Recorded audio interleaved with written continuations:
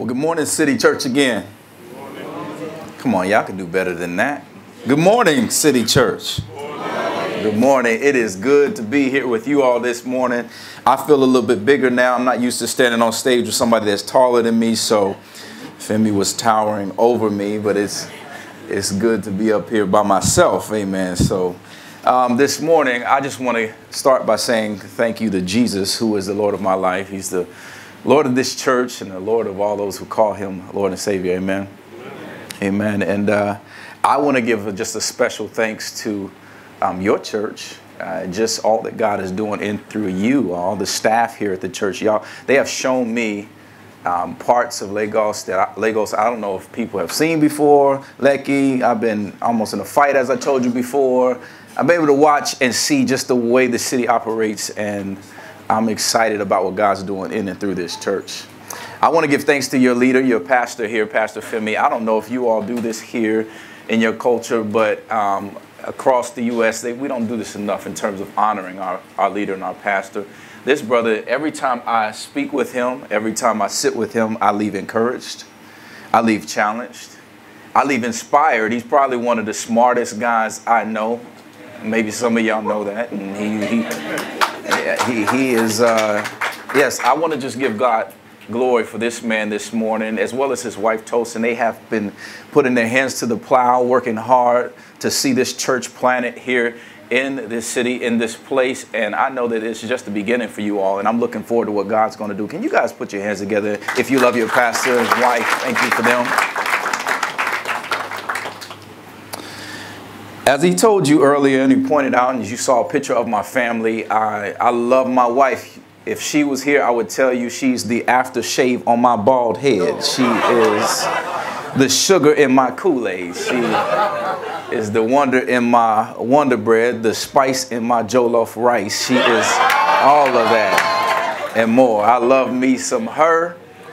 And uh, if you didn't know I didn't love her, then you just got to look at all the kids we have. Um, I love me some her. We have five kids, and um, they are a blessing. And I'm thankful for each one of them. They are missing me. I'm missing them. I can't wait to get home to them um, tomorrow. Um, but this morning, and as, and as, he told you, let me tell you a little bit more about our church. I said it's a multi-ethnic church. And one of the reasons we, we went to Chicago, Illinois, you may not know about Chicago, but Chicago is one of the most divided racially and socioeconomic cities in America. And so we went to Chicago in a city of neighborhoods. It's 220 micro neighborhoods inside of 77 neighborhoods, systemically eh, divided as well as people. And we said, look, if anybody's going to bring people together from all different backgrounds, different races, different socioeconomic backgrounds, the only person that can unite people, and I mean bring them together in a way that they will stay together, is Jesus. So by God's glory, we came in and we've been able to see people from all different races, different backgrounds, different socioeconomic backgrounds, all together under the banner of Jesus in Chicago. And like for your church, it's just the beginning of our church. We have 200, 300 so people that are coming, that are gathering together and God has been glorified in that city. And I say this, and I say it's probably the same thing for your church. If God saw fit to, to move Renewal Church, which is the name of our church, out of the city of Chicago, I would want Chicago to miss us. And what I mean by miss us is that we were so for the good of the city. We were so for seeking the welfare of the city that if we were moved from the city, they would say, What happened? Where'd the church go? And that's the same prayer I have for your church. That's the same thing I want to see here. And as I said again, this is just the beginning because I believe it's already happening. Amen. Amen. Well, as you heard the word read, we're going to get into Acts chapter 1, verses 1 through 11. And we got a lot to cover today and in this time that we have. But today I want to preach simply on the topic hope that compels. Hope that compels. Can you say that with me? Hope that compels. Before I go any further, though, I'd like to pray. If you pray with me. Father God, thank you so much for this morning. We thank you for just the worship, God, and that we're in a place where we're privileged to be and be able to sing praises to your holy name. Lift up our voices knowing what you've done for us, God.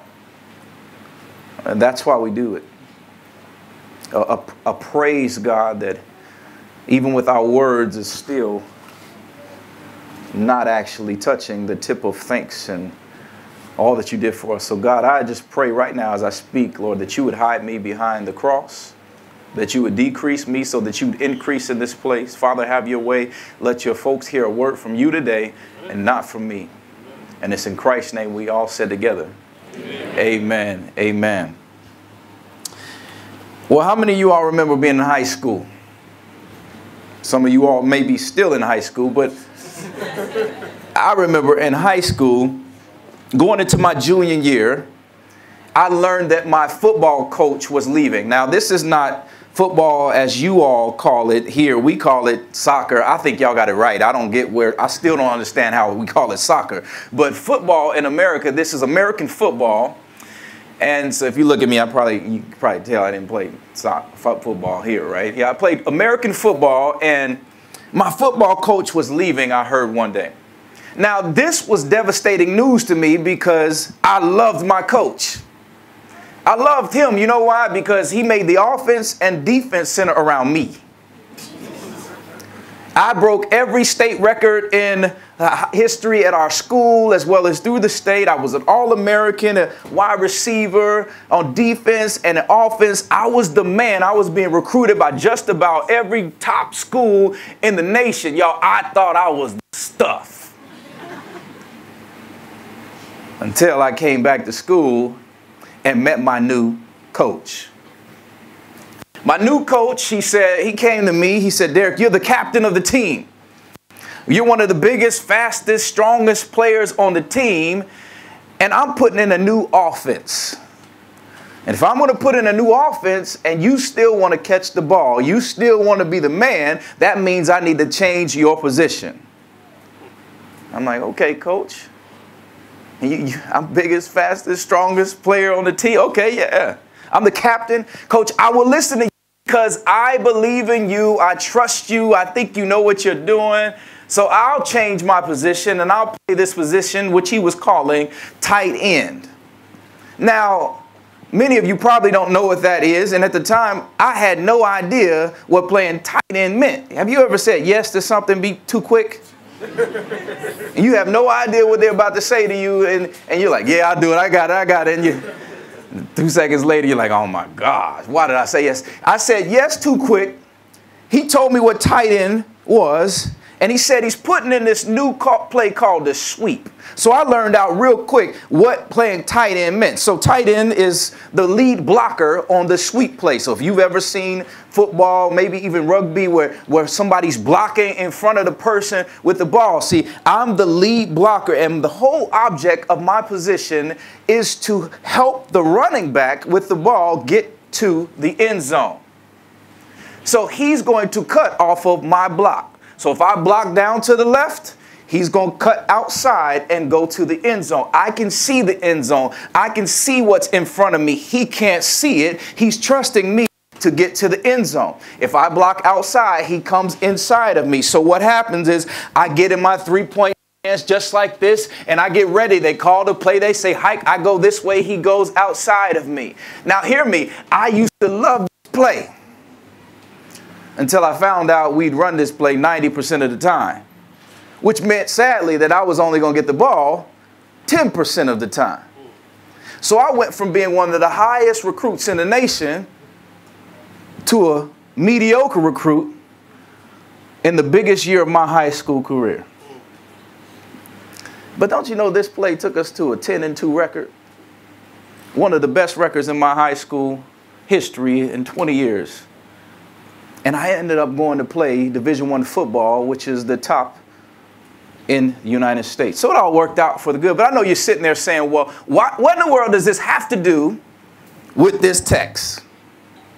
What does this have to do with Acts chapter 1? What does this have to do with the Bible? I'm glad you asked.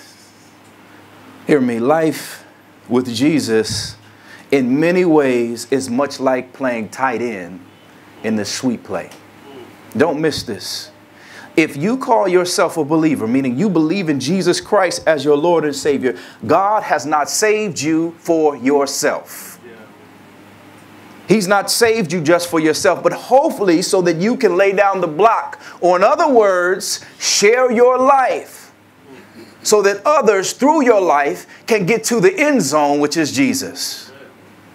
See, as believers, we're all just a bunch of tight ends. We're just a bunch of tight ends laying down the block for someone else. You know Jesus. As a believer, you know him, which means you know your end zone. But there are people outside of these walls outside of this room that have never heard of Jesus, that have been hurt by church, don't want to step foot in here.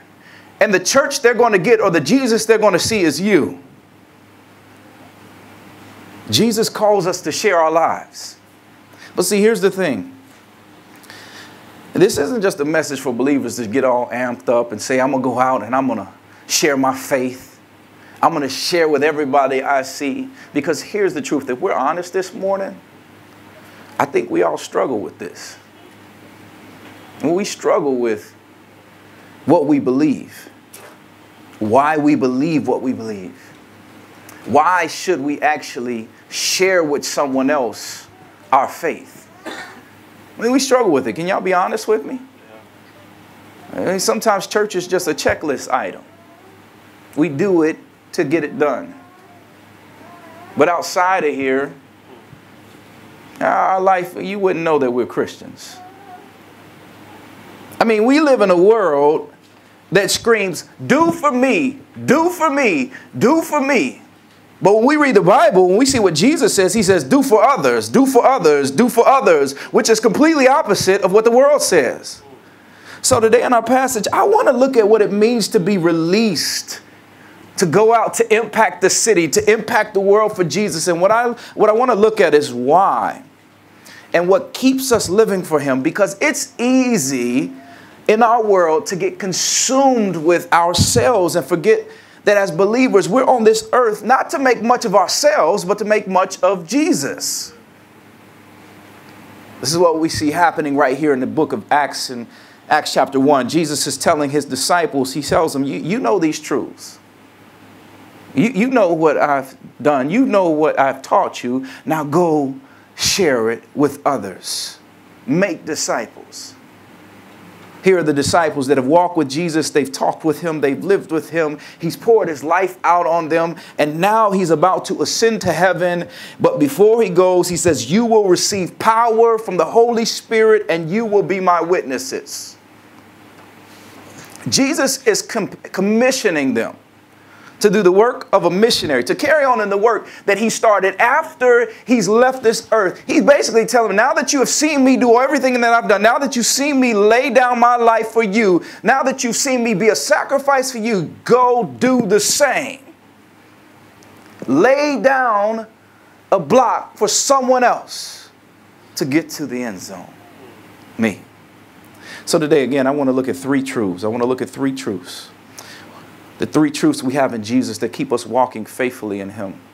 I want to focus on what we know is true about Jesus and the hope we have in Him, which in turn should make us desire to want to live for Him. So, again, we're not going to focus so much on how we live for Jesus, but more so why. See, because anybody can go to church. Anybody can go to church once, twice a week. Anybody can do community service. Anybody can give money or do some other benevolent act. But the question we must answer is why do we do it? Is it because we're compelled by the gospel of Jesus Christ to do so? Or is it because we feel obligated to do so? There's a big difference. Today I want to talk about these three truths. Number one, the hope in his resurrection. And number two, the hope in his ascension. And number three, the hope we have in his return. Again, there's three. Number one, the hope in his resurrection. Number two, the hope in his ascension. And number three, the hope we have in his return. These hopes are what will keep us running through the storms of life being tight ends, laying down blocks for those around us in order to get to that same end zone, Jesus. Now, to begin with just a bit of context as we walk through this scripture today, uh, you got to go to school before you actually start looking at the passage. The book of Acts is believed to be written by Luke by most scholars, and it said that he's writing to a man by the name of Theophilus. Now, we're thinking and believing that Theophilus is one of his disciples. We don't know much about Theophilus, but he opens up in this passage and he says in verse 1 I've dealt with what Jesus began to do and teach, which alludes to the fact that he's going to continue to talk about what Jesus taught and what he's going to do. But this time, it's through the church.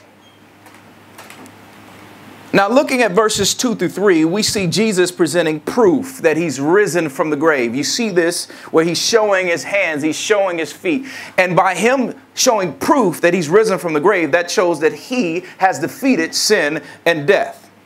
Verse 3 talks about Jesus presenting himself to the disciples with the holes in his hands and in his feet. These first few verses are significant. You just can't read over them and skip through them really quickly because I need you to do this with me. Could you imagine for a moment being one of these disciples right now? Could you imagine what they're feeling right now? Could you imagine what they're going through? They walked with Jesus, they talked with Jesus, they hung with Jesus, they ate with Jesus. They just saw him die one of the most gruesome deaths throughout human history death on a cross. Could you imagine the hurt they're feeling right now? Could you imagine the sadness they're feeling right now? Could you imagine the betrayal that some of them are feeling right now. On their part, what, they, they left Jesus. But here in our text, they see their risen Lord dwell with them, not one day, not two days, but for 40 days. They get to touch his wounds, wounds like Thomas putting his hands or his fingers in his the holes in Jesus' hands. I mean, could you imagine now the, the, the amazement the joy that they feel that Jesus has come back. Could you imagine this? I mean, this is kind of confusing to me. When, when you think about it, they went from being sad that Jesus is gone, mad at people for what they did to Jesus, feeling betrayal, feeling all these different down feelings, and now they get, get this big high. This, they're all the way up here. Jesus has come back. Jesus is with them. I mean, they're probably feeling sad that he's gone. They're feeling up because he's back. Then they're doubting the fact, is this really Jesus? Could you imagine? That's like a roller coaster ride of emotions, up and down, over and all over the place. Anybody like roller coasters? You like going up and down all the time? You like big bumps and just your belly is just, ooh, it's like that. I mean, doesn't feel good. That's like a roller coaster of emotions. Jesus is back one day, then he's gone one day. Is this really you, Jesus? Could you imagine what they're feeling right now? And y'all, I, have never seen anybody risen from the grave, have you? No. I, I can bet that the disciples are not fans of Tupac either. Sitting around like, is there a heaven for a G? I wonder if he's coming back. No, they're not thinking that. Jesus is sure enough dead.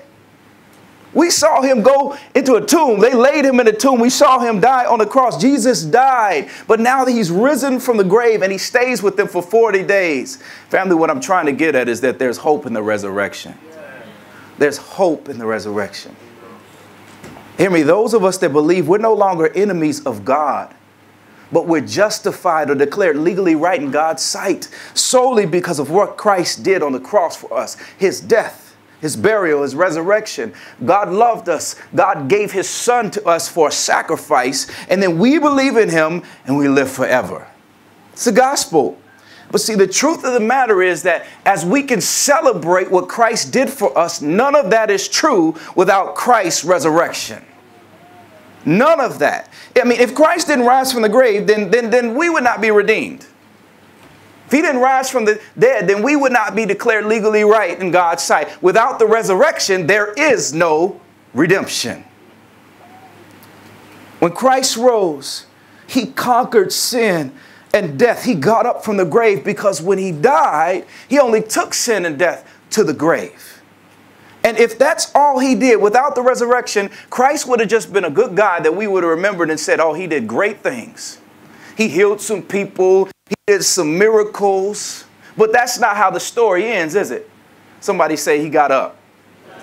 Jesus got up from the grave. Death couldn't hold him down, as the song says. Hear me, family. The resurrection completes our redemption. He died, he was buried, and he rose. We cannot be justified without the resurrection. Paul tells us in 1 Corinthians 15, 13 through 14, he says these words But if there's no resurrection of the dead, then not even Christ has been raised. And if Christ has not been raised, then our preaching is in vain, and your faith is in vain. Notice these words. He says that without Christ's resurrection, our faith is in vain. In other words, our faith is meaningless without the resurrection. It's Christ's resurrection that completes our redemption. But, friends, you, you know what brings me the most joy when I read these verses? When I read what Paul says here? What brings me the most joy is that Christ, he's not just talking about Christ's resurrection. But you look at verse 13, he, he's talking about the resurrection of the dead. That's you and me. The fact that one day, all of us that have placed our faith in Jesus, we will be raised to live in eternity with him forever and ever. That's good news. Friends, faith in Christ's resurrection is important because without it, there is no hope. If he hadn't risen, then our faith would mean nothing. It's the resurrection that gives us hope, the resurrection that makes redemption complete. But I'm not sure if some of you guys get this. Some of you are looking at me like, what is he talking about? It's, it's kind of like this. It's, it's kind of like, hey, have y'all ever eaten a, a peanut butter and jam sandwich before? No, y'all don't do that here. In, in America, we eat peanut butter and jam. We call it jelly peanut butter and jelly sandwiches. Probably sounds nasty to you guys. It's like it's like rice and peas for us in, in, in America. We, we love peanut butter and jelly sandwiches. And here's the reality. You can't eat a peanut butter and jam sandwich without both ingredients. You follow me with that? You can't have one without the other. So growing up where I'm from, I used to love these type of sandwiches because I grew up in a single mother household where it was just me, my, my mother, and three little sisters. And so we didn't have much. So to pull out the peanut butter and jam sandwich, it was like heaven because we got to eat it. And, and see, here's the reality. You got all these different types of breads where everybody's trying to make a peanut butter and jam sandwich healthy. Ain't nothing healthy about a peanut butter and jam sandwich. So you know, so you can't pull out the wheat bread. You see somebody make this with wheat bread, you're like, what is wrong with you? You gotta get, you gotta get the white bread, the stuff that's unhealthy, all that mess in it, and you you start putting the peanut butter on it, and you put it thick on there, and then you put the jam on there to the point where it's just it's just seeping into the pores of the bread, and then you put it together, and it's so mushy. It's just some really good goodness, but you can't have one without the other. So I, some days I would come home from school and I would just be craving a good peanut butter and jam sandwich. So what I would do is I'd start, I'd go into the cupboard, I'd grab out the white bread, pull it out, get me two slices of bread. I put them on the table. I'm getting already, my, my, my, my knife, my butter knife is shined really good and it's ready to go. So I pull out my bread, I get the peanut butter out and I start putting it on the bread just like this. And it, I'm, my mouth is starting to water because I want this peanut butter and jam sandwich. And then I go to the refrigerator and I'm looking for the jam. I'm moving everything around to find this jam. I'm looking looking, my mouth is watering, I'm sweating now because I can't find it. Where is the jam? It's not in the refrigerator. And come to find out, we don't have any jam.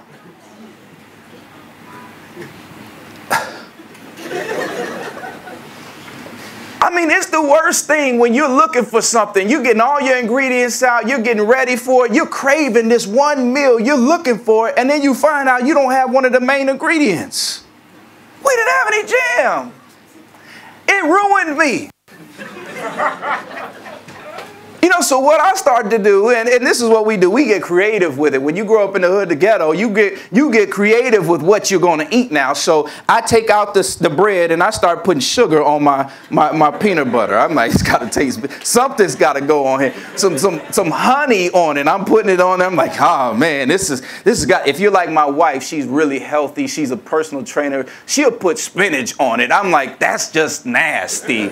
You don't put, it's not healthy. You can't make it healthy. So she puts it on there and, and my kids ended up eating it. But see, here's the reality. What I'm trying to get at is that you cannot have a peanut butter and jam sandwich without both ingredients. So all these substitutes, when you're starting to eat it, you're eating it in your mouth, you're like, you're choking because the peanut butter can't go, on, go down because the jam helps the peanut butter sandwich go down your throat. Y'all not following me with this. See, here's the reality. Without both of the main ingredients, it's incomplete.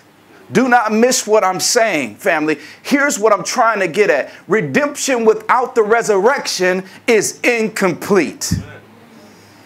It does not work. It is the resurrection that gives us hope to keep going and living for Jesus because not only has Christ risen, but Paul just told us in Corinthians that if we believe one day Christ is coming back for us, that leaves us with an immense amount of joy in the fact that Jesus has risen from the grave. Amen? Amen. Family, Jesus' work on our behalf gives us hope. It gives us joy beyond any trial, any problem we may face because He's already conquered it all when He rose. Which means that I don't have to fret. I don't have to worry about what's happening around me or to me right now. As much as it may, may feel bad, it may sadden me, Jesus has conquered it. He's conquered the world. I just need to believe and endure and keep my eyes on Him. Friends, the resurrection gives believers hope. But in the text, that's not the only truth that gives believers hope. Secondly, Christ, his ascension gives us hope because of the gift he gives believers when he ascends. Look at it with me in verses 4 through 9. See, before we just looked at how Christ resurrected from the dead, but now he's going to leave them again. So the question becomes if I'm one of the disciples, if I'm walking with Jesus, how am I supposed to have joy when you're leaving me again? Jesus, you just got back. Now you're leaving me again? Where's the joy in that? But the joy comes because before he goes, don't miss what he says, he reassures them with the promise of the Holy Spirit. Now, there's a lot going on here, and I know you have been talking about the Holy Spirit, the gifts of the Spirit. And I, don't want you to get lost in all of this right now. The point I want you to take away is that although Jesus is leaving the earth, to go back to heaven, he does not leave his disciples with all, without all they need to keep going without him. Don't miss that. Therefore, a believer in here that may have walked in here and you feel alone right now, you feel like the weight of the world is on your shoulders, you have been going through it. There's so much happening around you. You feel like you're on an island by yourself and you can't do this by yourself. I'm not going to make it. Here's the truth if you believe in Jesus, you're not alone. You're not by yourself. The Holy Spirit, third person of the Trinity, is with you. And He's probably closer, nearer than ever before. He's with you. You're not by yourself. Let me put it this way that, Have you ever had someone in your life, like a friend, a spouse, a close loved one where life didn't feel complete when they're when they're not in your presence i mean it, it feels like something is missing when they're not with me it, feels like they're not here there's a part of my heart that is missing you have that friend that spouse that that person in your life maybe somebody that, that's been really close to you when they're not there it just feels like there's something that's not that, that's not right And if you have that person in your life when they're not around you, you probably have something of theirs that you keep. Maybe it's a picture. I mean, some people are weird, maybe a piece of hair, you know, it's just, you, you have something that's theirs. And it reminds you of them, even though they're not physically with you, it reassures you that they're still there. You got that item in your life? That picture that, that, that maybe it's a bear or something, something of, of, of theirs that you keep that reminds you of them. Well, my wife and I, we're, we're high school sweethearts. I met her in high school, and I, I remember being in high school, you, you know, you, you didn't have a whole, you, you couldn't see each other all the time. You know, so me being romantic, yeah, I got, I'm romantic a little bit, you know.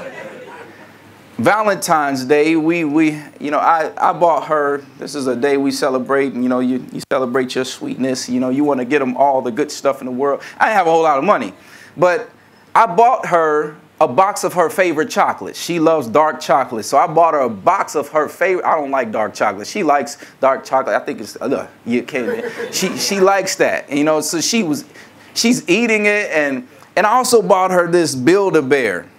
I don't know if you've heard of a Build-A-Bear before, but it's a bear that you go into the store and you actually build the bear. You can stuff it, you can dress it, you can make it the way you want it. So I put earrings in the Build-A-Bear's ears where she had to find the earrings. And then in the palm of the hand, I put this little recording that says something like this, baby, I love you.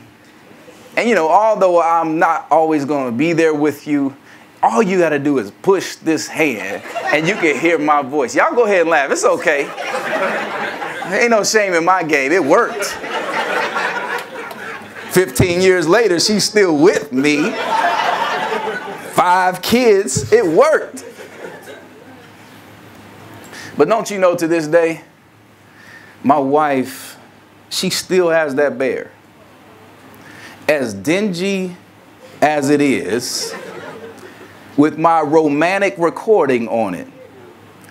So whenever I'm gone, all she has to do is press the palm of that bear. Friends, hear me. Jesus knew what he meant to his disciples. He knew that he was about to leave. So what does he do? He says, Before I go, when I go, you're going to receive the Holy Spirit. Me and Spirit, I'm not leaving you, someone else is coming. That's far greater than any Build-A-Bear. He says all of this before he gives them the tall order of being witnesses to the rest of the world. He assures them in his ascension by giving them the Holy Spirit. A counselor, a friend in need, someone to guide them when no one else is there. When them by themselves, they cannot do what he's called them to do. They're not up to the task. See, Jesus knew that the disciples could not be his witnesses without him. Because hear me, Jesus is the only one that can save. You see, this is a key point. Let me say that again. Jesus is the only one that can save because some of us may have some Jesus complex in us and we believe that we're the ones that's supposed to save somebody. So when they don't come to the faith or they don't do what we think they're supposed to do, we get upset, we get sad about it. Hear me, Jesus is the only one that can save. So you stay diligent, endure the process, keep living your life and keep your eyes on him and pray for everyone else too. He's the only one that can save. Family, we don't have what it takes to fulfill the mission of being witnesses of a holy God, not by ourselves. If we're honest, that's the key word honest. We're self serving. We're dirty. We're grimy. We're sinful people, including myself. But with the Holy Spirit, believers have all that they need. We that believe we're prepared because we're not relying upon our own strength. We're not relying upon our own power to make it through this world where things happen like corrupt politics or, or murder all over the world, violence happen all over the world. You see, we don't have the power or the strength to get through that. Some days I get so down, I'm like, God, I can't take this anymore. God, I don't think I can make it through this. We get upset about traffic. God, I don't think I can, I can do this anymore. And the reality is, we're not meant to be able to do it by ourselves. The hope is not in us getting through it. That, that's hopeless. But as believers, we're able to prevail. We're able to endure. We're able to keep going because we're not relying upon our own power or strength, but we're relying upon Jesus. His power, His strength. It's not us, it's Him. Jesus has not left believers by themselves, but the question then becomes well, are you heeding the Holy Spirit? Friends, we cannot simply live this life by our own merit or by our own strength, but instead, if we call ourselves believers, we have to listen. We have to listen and live according to the Spirit of God. And the follow up question becomes well, how do I know what is the Spirit and what's not? Hear me, family. I'm going to give you something really simple. I can't break all of this down, but one simple piece is that the Holy Spirit is not in your feelings. He's not in how you feel. We get that wrong a lot of times. I feel up, so God is working. I feel down, God is not here. Our feelings sway, they sway and they move like the wind and the waves. They change all the time, depending on the day and the time, the hour of the day. They, they change. But you know one thing that's true about God? He does not change. He stays the same.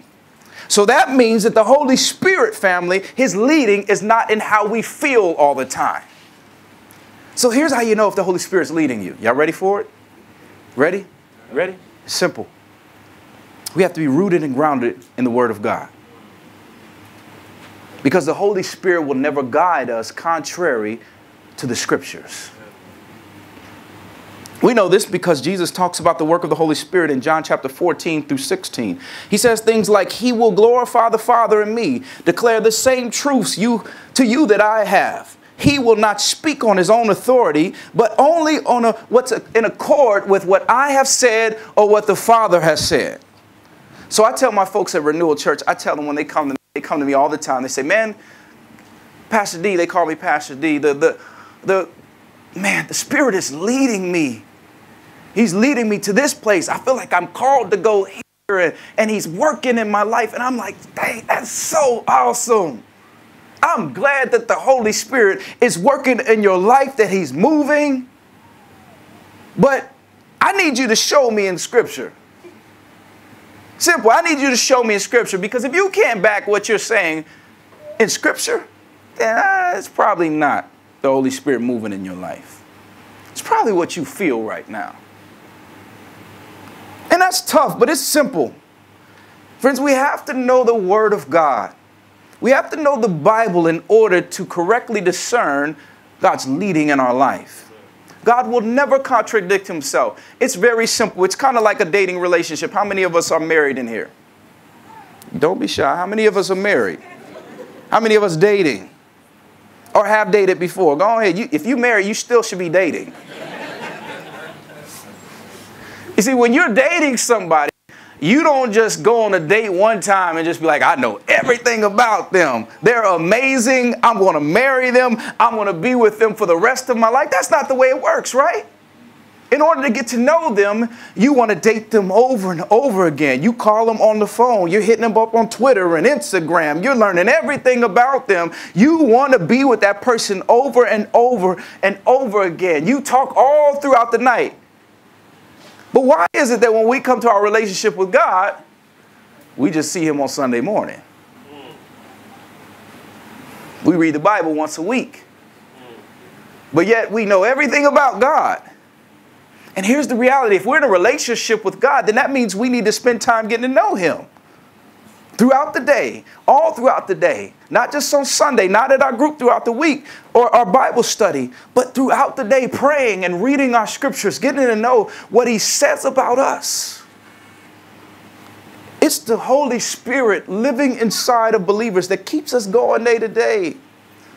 But we have to know Him and His Word in order to know His leading. You see, many times we treat the Holy Spirit like He's some mystical being. When the truth of the matter, he's not. He's God.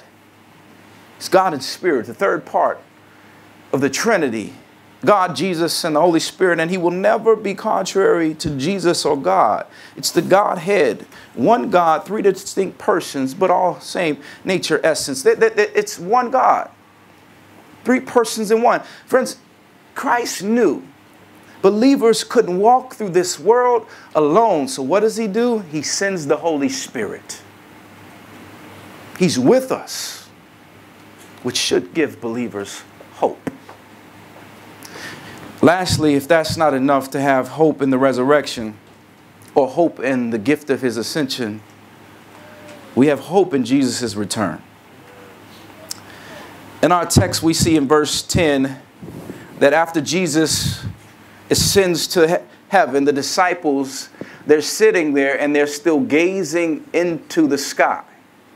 They're still watching the sky. They're looking in the heaven. They're looking as if Jesus, what, what happened to Jesus? I mean, could you, it's, it's kind of like sitting at a grave site. You're, you're seeing that body being lowered into the ground. You're seeing that person that you once loved there. They are no more. And no matter what anybody says to you, no matter about the hope you have of seeing them in heaven, it still hurts. They're still grieving. They're still mourning. It still hurts. These disciples, I mean, could you imagine what they're feeling right now? Their Savior, their Lord, who has been with them, who died for them, was and rose from the grave, been with them for 40 days now, has now left. So they're gazing into the sky, probably hopeless, some sad and some weeping at this time because Jesus is gone. And as they're sitting there gazing into the sky, it says two men in white robes appear. Look at verse 11. They say, Men of Galilee, why do you stand looking into heaven? This Jesus, who was taken up from you into heaven, will come in the same way as you saw him go into heaven. They give the disciples hope in the return of Jesus during a time of need. See, the men give them something to look forward to, not just gazing into heaven, but they give them a hope to look forward to. See, it's the fact that one day Jesus is coming back for his people. See, Jesus, in his death, burial, and his resurrection, he saves us from the power and the penalty of sin. But one day, he's coming back to save us from the very presence of sin. See, that's something to look forward to. No more sadness, no more tears. No more pain, no more suffering, no more temptation, no more murder, no more corruption, no more anything, anything else. It's just going to be goodness with us and God. But instead, believers, not sitting in all of that mess, we're going to be with Him forever and ever in heaven.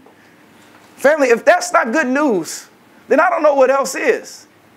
To be released from all of this mess, that's good news. See, we don't place our hope in this world because it and everything else is going to perish. It's going, it's not getting better. That doesn't mean that you won't go forward and things won't happen in your life, but the world as a whole is not necessarily getting better until Jesus comes back. But if we believe, we will be resurrected with him and live with him forever. See, that's where we hang our hats at the end of the day. It's not on what we can achieve. It's not on what we can gain. It's not on what we can get. It's on the fact that Jesus is coming back one day. He didn't just die and be buried. He rose, then he ascended, and he's coming back. Let me end with this because I don't want you to miss this. How many of you all watch Netflix in here? Come on, you can be. I told you I need to be honest with me this morning. Netflix. My wife, my kids, and I, we love Netflix. We watch. What you can sometimes. I'm gonna be honest. Sometimes you can find me binging on Netflix in my downtime, I'm sitting there and I'm watching Netflix and I, I just keep watching it. I mean, and it's easy to binge on Netflix. If we're honest this morning, it's easy. You're sitting there watching it and you, you know, you watch about too many episodes already, too many. That's about three, four. You know, you watch too many and you're sitting there and you're like, man, I really need to go to bed. I got a big meeting tomorrow. I need to go to bed, but you keep watching and, and, and it's, it's easy to binge because it's like the five second countdown and and, and you're contemplating whether I need to go to bed or not. And by the time you get to the point of whether you're gonna go to bed or not, the movie, started, show's already started. You're like, you're like, well, I might as well go ahead and watch another one. I could get some sleep tomorrow. It's okay. Let me watch this show. Next thing you know, you're watching your show again. And see, the problem with that is that you keep watching the show, and then one day, the show ends.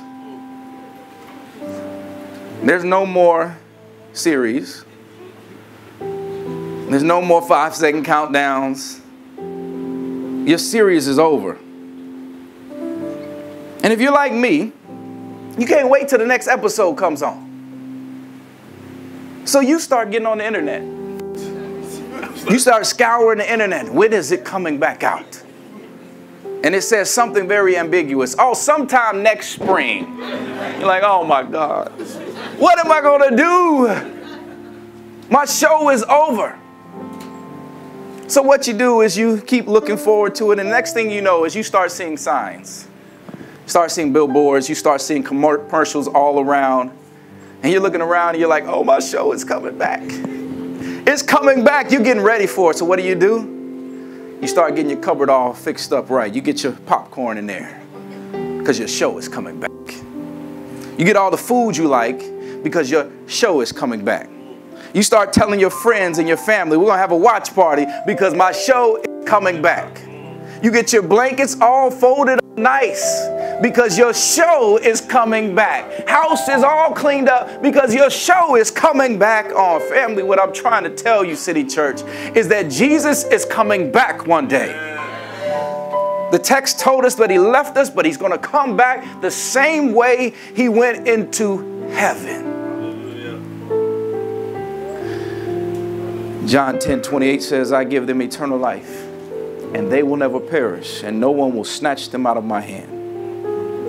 Believers will live with Jesus forever, family. That's where we place our hope. We place it in Jesus, the truth of his resurrection, the gift in his ascension, and in his return.